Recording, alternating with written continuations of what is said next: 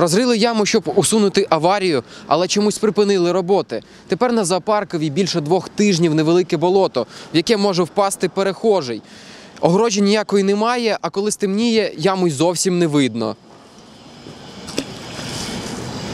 Ще в жовтні минулого року на вулиці Зоопаркова сталася аварія з пожежним гідрантом. Та із самого початку вулиці в її кінець утворився струмок з води. Але тільки два тижні тому комунальні служби згадали про проблему. Приїхали на місце аварії, розрили яму, перекрили воду та поїхали не повернув все на свої місця. Тетяна каже, що за своє життя не бачила такої байдужості. Я такого еще не видела. Это, я так поняла, что это пожарный гидрант.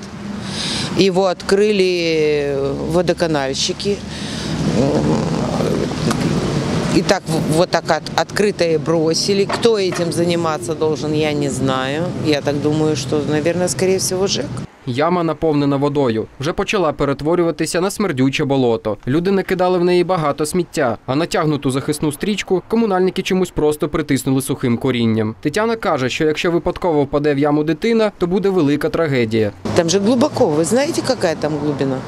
Больше полтора метра. Варто відзначити, що в Одесі така проблема існує вже не один рік, коли комунальні служби після або на початку проведення ремонтних робіт кидають все як є, а прості люди страждають від цього та не можуть вести комфортний спосіб життя. Так ще при цьому ніяк не огорожують небезпечну ділянку. Що буде та хто відповідатиме, якщо трапиться трагедія? Павло Сичевський, Денис Світличенко, інформаційна служба новин.